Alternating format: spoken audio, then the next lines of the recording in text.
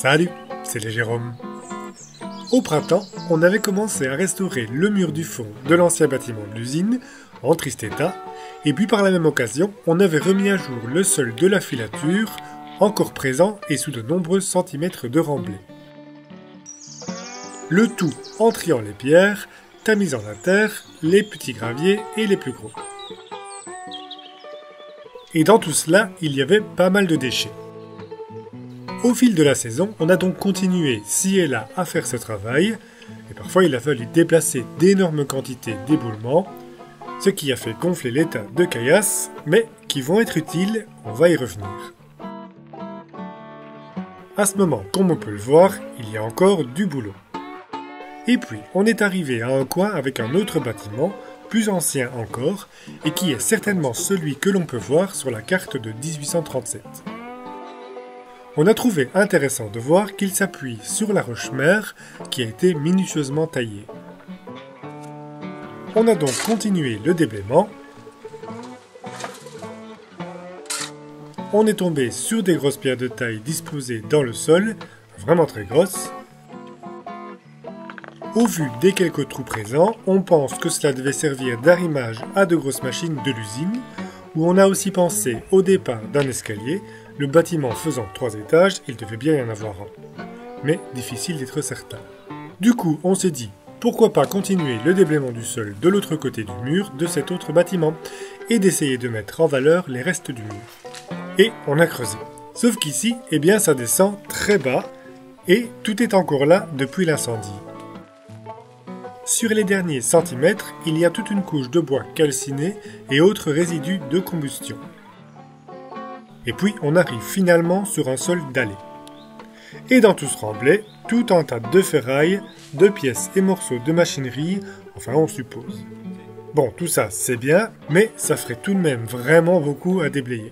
On va pas se lancer là-dedans, enfin en tout cas pas tout de suite.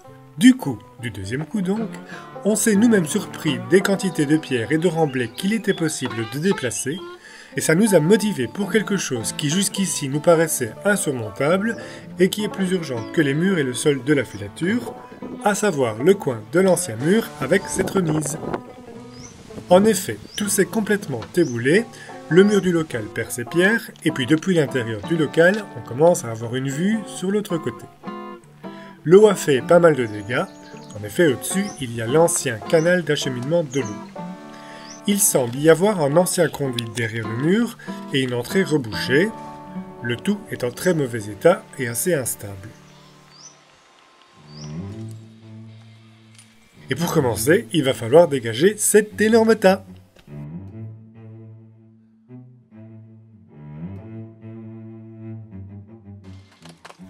Mais en faisant tout de même attention, alors régulièrement on vérifie la stabilité des pierres aux alentours, et avec un bâton faire tomber tout ce qui est instable, histoire de ne pas s'en ramasser sur le coin de la figure.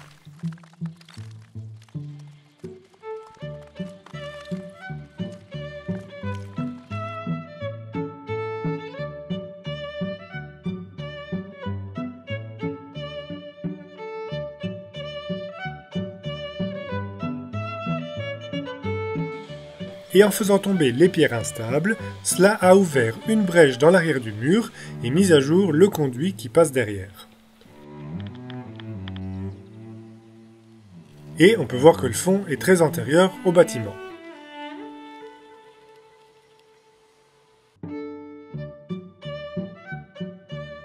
Dans tous ces gravats, beaucoup de pierres, mais qui vont nous servir à remonter le mur, mais aussi à nouveau des déchets de toutes sortes et puis un peu de ferraille, dont ceci. C'est le même profil et métallique que celui qui constitue la verrière, et la forme ainsi que les angles nous ont tout de suite mis la puce à l'oreille. Ce doit être les restants de la structure qui couvrait la terrasse, qu'on peut encore voir sur les photos de début 1900 et qui ont apparemment été jetés ici. Bah oui. On ne creuse pas en vain et pour finir, on y arrive. Voici donc ce qu'on cherchait non pas un petit coffre au trésor, mais une base stable des murs sur laquelle on va pouvoir repartir.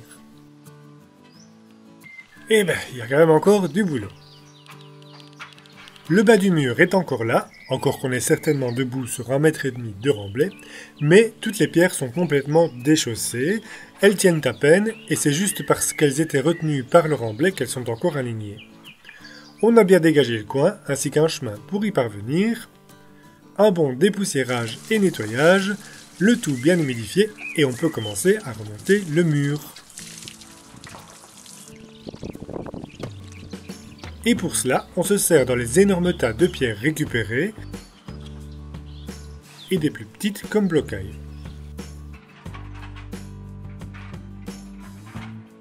Et les autres gravillons plus fins, comme on l'a dit, on les utilise aussi, et pour faire un mélange un peu spécial. 4 volumes de pierre type gravier, pour 3 volumes plus fins de sable et terre,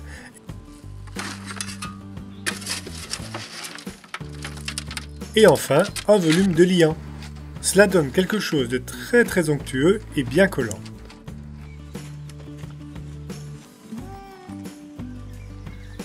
Qu'on utilise pour bourrer l'espace derrière le parement, car il y a du volume.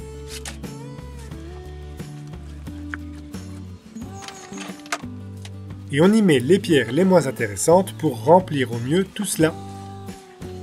Ce mortier, si on peut dire, est assez maigre, et la terre et la chaux le garderont perspirant tout en lui apportant une certaine stabilité, même si on a tout de même pris le temps de bien caler les pierres.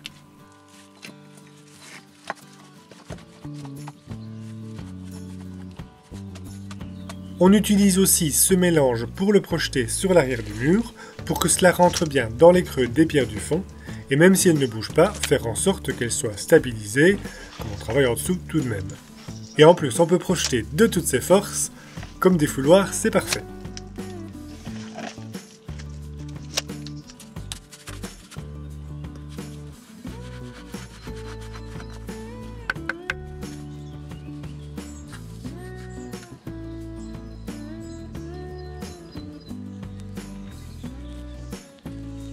À l'intersection des deux parois, on dispose une grosse pierre en bout de ligne, croisée dans l'angle.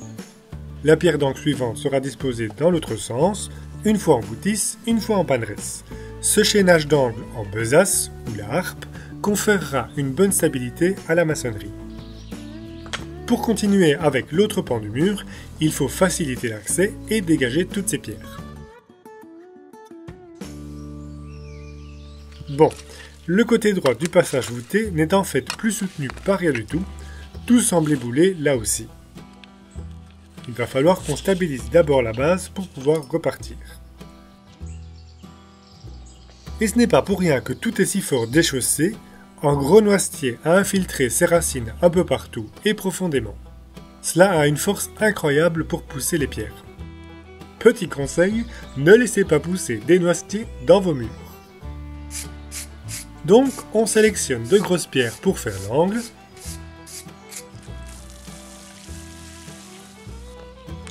Et après avoir retrouvé le fond dont les pierres sont toutes rongées, on peut commencer. C'est très étrange car ni le bloc qui soutient encore la voûte ni la pierre de base retrouvée ne semblent correspondre à la projection de l'arc de la voûte. Est-ce que ça a bougé? Et on a donc fait ce qui nous semblait le plus logique pour positionner le montant.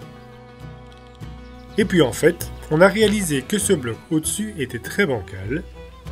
Alors comme le reste, on va le faire tomber.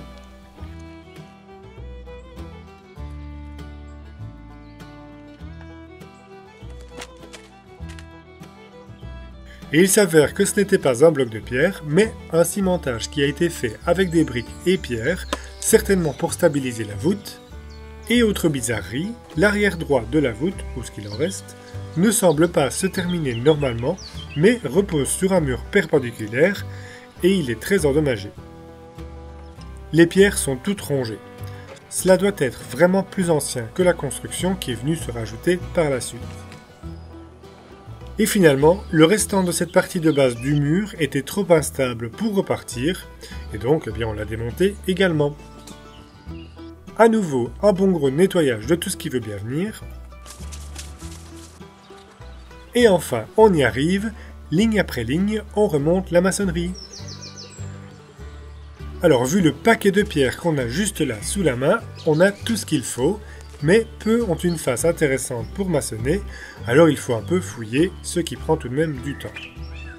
Mais on finit par trouver, et puis vu le volume à remplir, toutes les pierres inintéressantes sont les bienvenues pour le remplissage avec le mortier maigre, lui-même en grande partie composé de petites pierres et cailloux. Une fois qu'on arrive presque au niveau du bas de la voûte, il faut faire attention à ne pas le dépasser. On va déjà faire une projection, et pour cela il faut retirer quelques pierres du rebouchage pour pouvoir tendre un fil et voir où le côté droit devrait tomber. Et tous les trucs sont bons pour corriger le niveau du fil quand on ne sait pas à quoi l'accrocher.